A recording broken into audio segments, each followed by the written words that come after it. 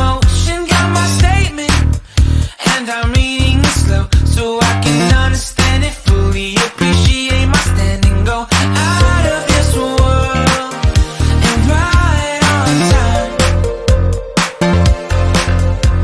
Oh, never in my life have I seen the sky light up like this. I'm far away from So, ayan. Nag-edit ako while mag-charge. Wala mag-isa dito sa pantry. Pantry. Yeah, antayin ko pa yung shuttle. 7.45. Time check. 6.35. So, babaya, mamaya na ako bababa. Habang nag-charge ako, mag-edit ako. Yun lang. Wait, I think I'll last a bit longer. Find another reason to breathe.